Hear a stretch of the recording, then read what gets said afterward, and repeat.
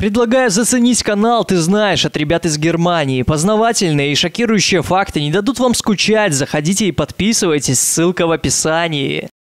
Почему елку вешали вверх ногами? Откуда вообще пошла елка? Где родина Нового года? И как появились новогодние игрушки? Обо всем этом и не только прямо сейчас, за считанные часы до Нового года, поведает Telblock.net. Историки утверждают, что традиция празднования Нового года зародилась в Месопотамии более 4000 лет назад. Следом к празднованию подключился Древний Рим. Поначалу верховный жрец Рима самолично решал, когда наступит Новый год, имея право удлинить или укоротить год по своему желанию. Потом римский Новый год приурочили к 1 марта, а в 153 году до нашей эры римляне стали его отмечать 1 января, совмещая с выборами нового консула. Это древние римляне сформировали идею, как встретишь Новый год, так его и проведешь. Поэтому они старались веселиться, дарили друг другу подарки, сначала вкусную еду, а позже и деньги. До 1492 года на Руси Новый год, как и поначалу у древних римлян, тоже наступал в марте. Затем его перенесли на сентябрь, это было удобно и логично. Ты поработал, собрал урожай, есть что отпраздновать и главное чем, закрома-то полная. Но Петр I, великий унификатор вся Руси, повелел своим указом перейти на общеевропейское летоисчисление и праздновать новолетие с 1 января 1700 года. Указ этот читался на лобном месте, каждые полчаса дядьки сменяли друг друга и произносили текст много-много раз, чтобы никто не говорил потом, что не слышал. Уклонистам грозили смертной казнью. Теперь в Новый год всем положено было целых 7 дней шумно веселиться, стрелять из небольших пушечек, будь у кого есть, из мушкетов и иного мелкого ружья, ракетов и поджигания смоляных бочек. Ну а боярам к тому же надо было бриться, пить, курить, танцевать с дамами минуеты.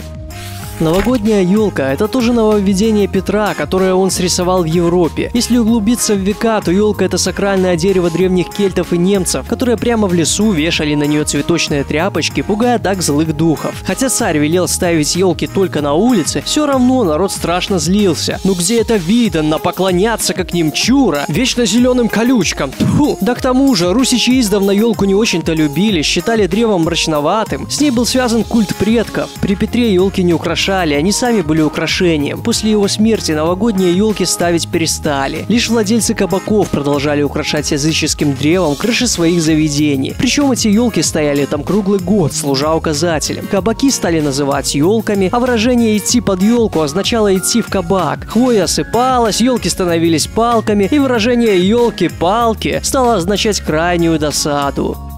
В средневековой Европе елку наряжали и украшали совсем по-другому. До елка даже не стояла привычно на полу, а висела вверх тормашками под потолком. В этом не было какого-то тайного смысла, кроме чисто карнавального веселья и прикола. На перевернутое и подвешенное деревце цепляли всякие сласти. В назначенный час открывались двери и в комнату врывались дети. Они с визгом подпрыгивали и обдирали елку как липку.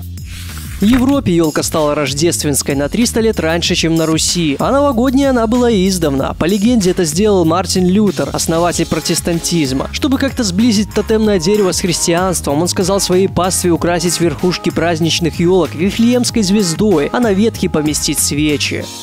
Новогодние празднества возродились при Екатерине II, а первую елку организовал в конце 1830-х годов император Николай I. С улицы в русские дома елка переехала в 1840-м. Первыми ее принесли домой проживающие в Петербурге немцы. Причем они поставили елочку заранее, уже на католическое Рождество, и простояла деревца до самого крещения. Этот обычай горожанам так понравился, что они стали устанавливать елки в своих домах, а смекнувшие выгоду крестьяне стали устраивать елочные базары пожары. Из столицы империи эта традиция разошлась по всей стране.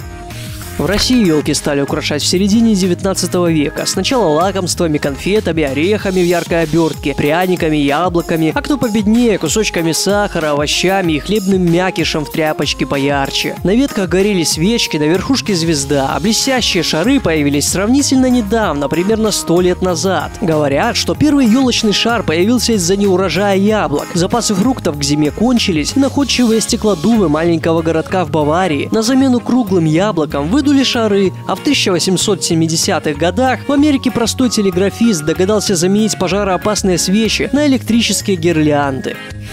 1918 году большевики запретили праздновать Новый год, считая это буржуазной прихотью. До 1936 года новогодняя елка ушла в подполье. Только в некоторых семьях решались устраивать ее и делали это тайно, потому что поплатиться за такое нарушение можно было очень жестко. Позже Сталин в близком кругу намекнул соратникам. Новогоднюю елку советским детям неплохо бы вернуть. Пусть, мол, кто-то выступит с инициативой, а я разрешу. Сказано, сделано. Только рождественскую звезду заменили на красную пятиконечную, а украшения стали отражать планы на ближайшую пятилетку. Сначала делались в виде танков, самолетов, тракторов, кораблей, паровозов, при Хрущеве в виде кукурузы и прочих репок с морковками, а потом на елках появились ультрамодные серебристые спутники, ракеты и космонавты. Считается, что если в последний час старого года написать свое самое заветное желание на бумажке, а потом с началом боя часов поджечь эту бумажку, то можно определить, сбудется ли желание. Если записка догорит, пока часы бьют, то обязательно все осуществится. Что ж, ребята, Telblock.net поздравляет всех вас с новым 2016 годом и желает, чтобы все ваши бумажки обязательно сгорели до конца боя курантов.